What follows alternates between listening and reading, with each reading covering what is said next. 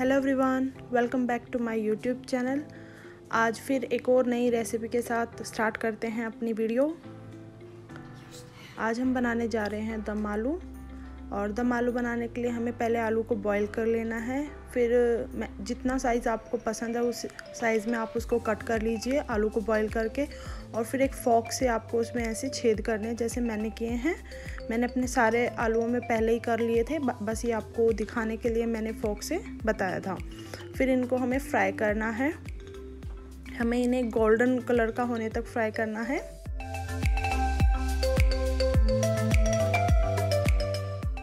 आलू को हमें गोल्डन ब्राउन होने तक फ्राई करना है और फिर निकाल लेना है। बाकी बचे हुए आलू को भी हमें सेम इसी टाइप से फ्राई करना है और निकाल लेना है।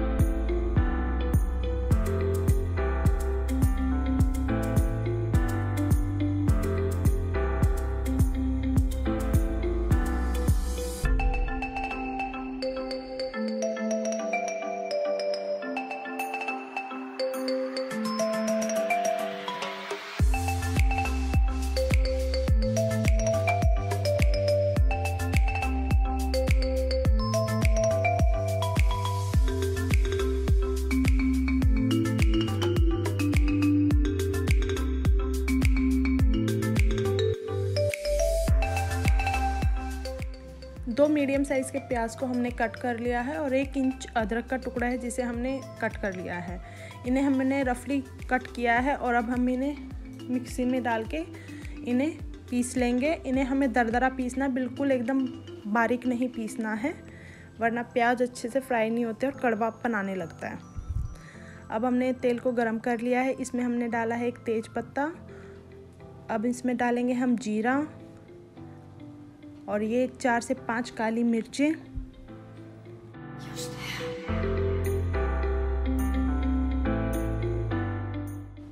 एक हमें लेनी है बड़ी इलायची। इन्हें हमें फ्राई कर लेना है मतलब भून लेना है। जब इनमें से हल्की हल्की स्मेल आने लगे, इसमें हमें अपना प्याज डालना है पिसा हुआ और फिर उसे भी ब्राउन होने तक भून लेना है।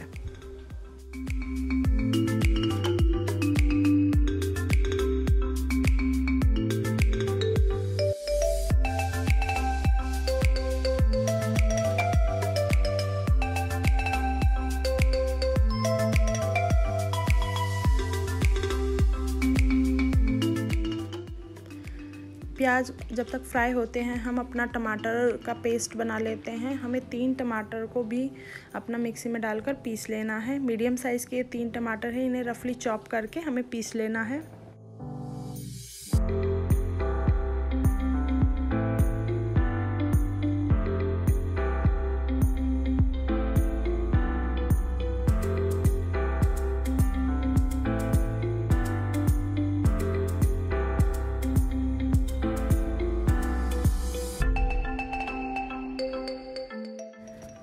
हमें अपनी टमाटर की प्यूरी रेडी कर ली है और ये टमाटर की प्यूरी हमें इतनी पतली करनी है। और अब हम हमारे जो अनियन फ्राई हो रहे थे उसमें ये हमने मिर्चों को पहले से ही पीस लिया, पेस्ट बना लिया है। तो ये हमारा मिर्च का पेस्ट हमने इसमें डाल दिया है और हम इसे अच्छे से फ्राई कर लेंगे।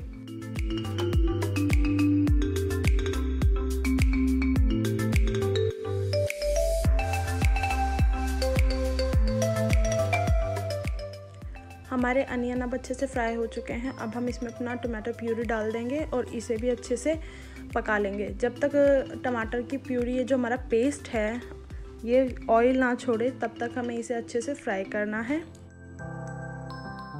हमारा ये मसाला अच्छे से भुन चुका है। अब हम इसमें डालते हैं हम अपने सूखे मसाले। सबसे पहले हम इसमें डालेंगे एक चम्मच काला नमक, जो आपकी मसाले वाली स्पून होती है, वो भर के आपको काला नमक डालना है इसमें। अब हम इसमें डालेंगे हाफ़ स्पून जो है आपकी लाल मिर्च का पाउडर। ये एक चम्मच हमने डाला है इसमें धनिया पाउडर। अब हम इसमें डालेंगे एक चौथाई चम्मच हमारा हींग पाउडर। ये पिसा हुआ हींग था। एक चम्मच हल्दी पाउडर और अब हम सभी मसालों को अच्छे से इसमें मिक्स करके फ्राई कर लेंगे।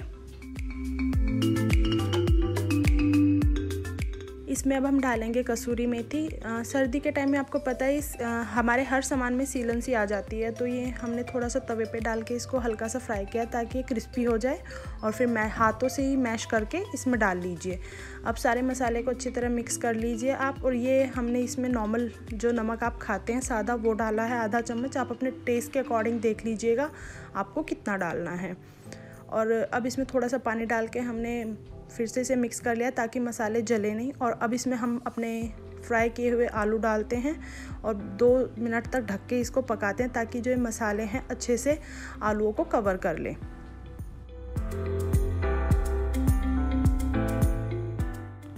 दो मिनट हो चुके हैं और ये मसालों ने अच्छे से आलूओं को कोट कर लिया है।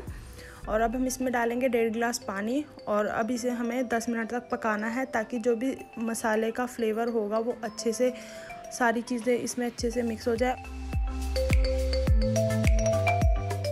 और हमारी ग्रेवी भी तब तक थिक हो जाएगी। आपको जितनी थिक करनी है ग्रेवी उस हिसाब से आप पका लीजिए। देखिए ये हमारे दम आलू बन के रेडी हो चुके हैं। आ, तो हमारी ये क्विक और इजी रेसिपी बिल्कुल रेडी है। बस गैस फ्लेम को ऑफ़ करें और एक चम्मच इसमें गरम मसाला ऐड करें और आपकी बिल्कुल सर्व करने के लिए आपकी दम आलू रेडी है। अगर आपको वीडियो पसंद आई है तो चैनल को लाइक करें, शेयर करें, सब्सक्राइब करें। Bye bye.